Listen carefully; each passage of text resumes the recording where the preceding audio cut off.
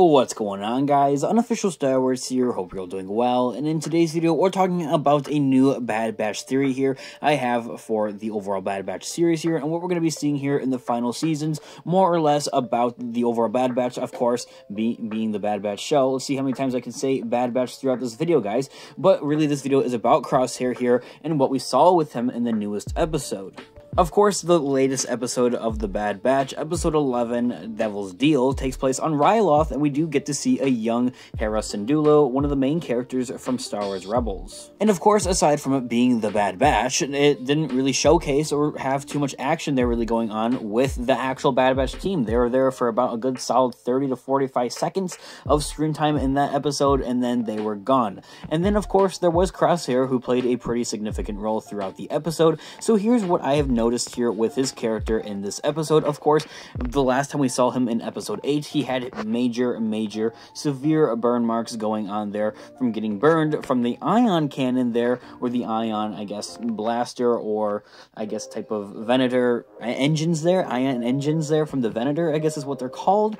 And we saw that actually hit his face, of course, and we didn't exactly get too much of a closer look until this newest episode there, and where he was really hit there. And of course, that there was in the back of his head, and if we take a closer look, that's exactly where the inhibitor chip is, which leads on to this whole theory and suspicion and prediction here on the latest episodes, or uh, I guess more newer episodes of the Bad Batch that we're going to be seeing here, of actual Crosshair making a comeback and joining his brothers back in the actual Bad Batch team there, and even furthermore, some other theories and suspicions there I have for his character is actually maybe seeing him sacrifice himself in some sort of way as type of a, a redemption almost. Aside from that, I'm going to leave that all for a whole separate video there. So really what an ion cannon does to you is it's actually used in the real world for cancer treatments there to destroy different cells. And as of what we know actually about the inhibitor chip, of course it is a chip, but it's more or less classified almost as a tumor in some sorts and ways.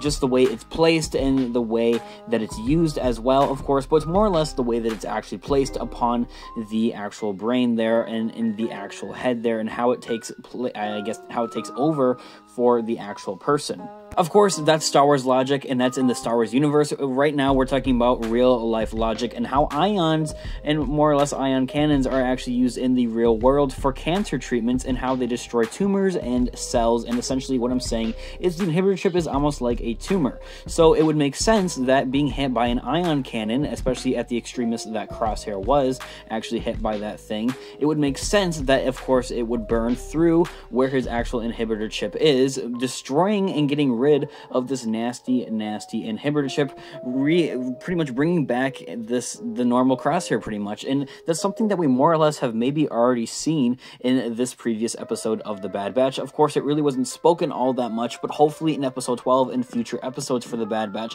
we will be able to see more and more of Crosshair really slowly coming back and almost have like a progression of him redeeming himself and coming back as the good old Crosshair that we all know and love, much like we saw Wrecker do in the beginning beginning episodes of the Bad Batch, how in the Bad Batch, uh, like the newer or the uh, the first couple of episodes, he would slowly more and more start to hit his head in different scenes, and then we would start to see a whole unravelment of him doing, I guess, Order 66 type things there until the actual inhibitor chip takes over. And just the whole idea of him complaining about all those different headaches, of course, until it led up to the actual inhibitor chip taking over and actually becoming a thing for him. And essentially, what my theory and suspicion here is pretty much the same exact thing happening for Crosshair, except vice versa and reversed essentially.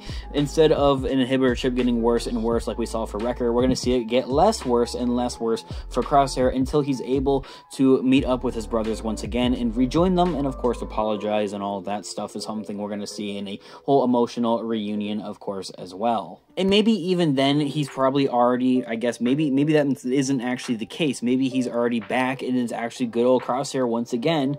And instead he's just laying low simply until he's able to meet up again with his brothers and kind of turn himself in kind of quote unquote back into his fellow brothers and really get the chance to get away from the empire overall. And that kind of leads me to our final thing the piece of evidence here that we actually saw for this maybe already happening and taking over and being a thing for crosshair is the fact that he simply takes takes off his helmet. And I know this is something that we've seen before in previous episodes, but more or less in the most recent episode is what we're talking about with Captain Commander Howzer Ballast being one of the new and most fan favorite clones out there already, just premiering in one single episode. Of course, I have my theories and suspicions that I'm going to be talking about here on the channel, so do be sure you are subscribed to the channel and hit that notification bell so you don't miss any of those videos. But something we do see with his character is really take off his helmet quite a bit, and that really remarks the whole freedom and free-mindedness of these clones, and that's something that we do see with Crosshair more and more throughout these different episodes, and really I think that's something that we saw, I guess, more in the most recent episode of episode 11.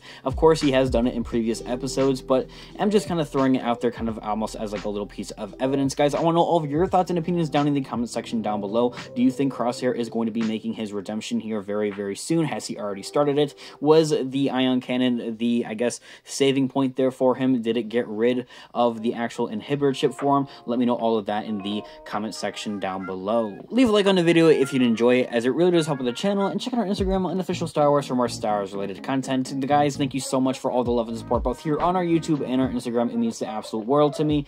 Of course, thank you guys so much for watching up until this point. May the Force be with you always. Catch you guys in the next video. Peace out.